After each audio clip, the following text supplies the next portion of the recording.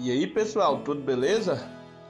É, eu sou Luciano Barbosa e a fazenda que eu vou falar nesse vídeo fica localizada aqui no município de São Domingos, Goiás. E é uma fazenda aí boa para reserva, para quem está procurando uma fazenda para comprar para reserva. Essa fazenda tá barata. É, ela serve para plantar também, mas o acesso é muito ruim. É, ela fica margeando o rio São Domingos, que é um rio de grande porte, então tem muita água. Ela é cerrado, de areia, é plana, boa para plantar, mas o acesso é muito ruim. Então é uma fazenda aí é, mais destinada para quem está procurando uma área para reserva. Não tem nenhuma benfeitoria na fazenda, não tem curral, não tem casa, não tem nada.